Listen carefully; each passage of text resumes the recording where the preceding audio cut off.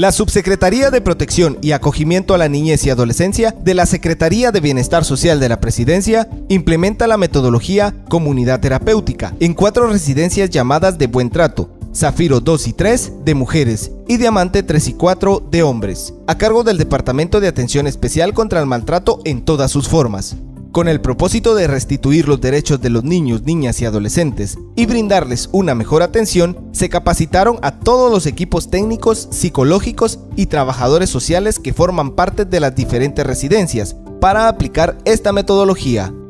La comunidad terapéutica es estructura, es normatividad. Por eso es que ellos tienen dentro de este proceso de diario vivir todo estructurado. Eh, no podemos salirnos de la norma ¿verdad? Hay cuatro formas de los cuatro valores que se tienen que respetar o las cuatro normas, ahí en el comedor lo tenemos, ¿verdad? Es una brújula. Entonces son como los cuatro pilares a respaldarse de lo que más eh, afecta dentro de la casa.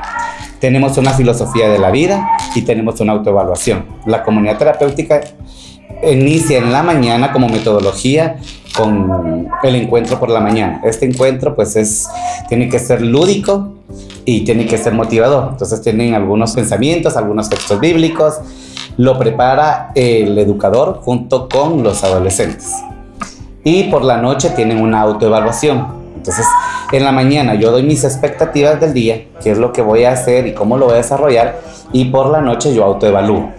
Entonces yo me autoevalúo, yo determino cómo fue mi día y si yo cumplí mis expectativas y respeté los valores de mi diario vivir, entonces me puedo colocar un color verde. La autoevaluación funciona con el semáforo, ¿verdad? El verde es que estuvo muy bien en el día, el amarillo pues es como eh, tomar en cuenta de que hay que mejorar algunos aspectos y el rojo, que por supuesto es que el día no estuvo muy bien y que tenemos que mejorar. La comunidad terapéutica es una metodología de trabajo. El equipo técnico conforma una comunidad. Todos se ven como una familia, como parte de un mismo proceso. La comunidad terapéutica construye procesos válidos y accesibles para todos y todas.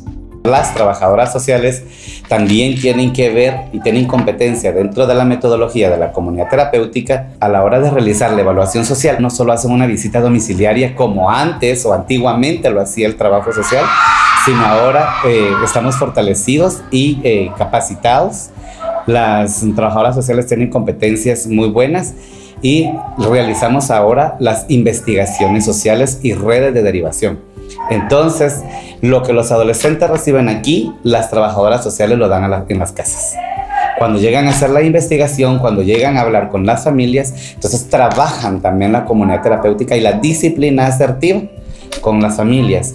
Y luego fortalecemos con una red de derivación.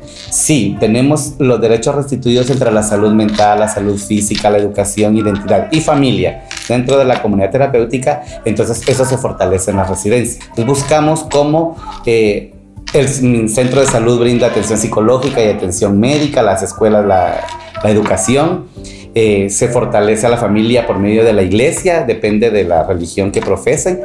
Eh, se trabaja con los pastores o los sacerdotes y religiosos para que fortalezcan el proceso de, familia y la identidad, pues entonces que redescubra la familia, cuáles han sido sus procesos, su árbol genealógico y por qué es importante de que la familia tenga el certificado de, de identidad.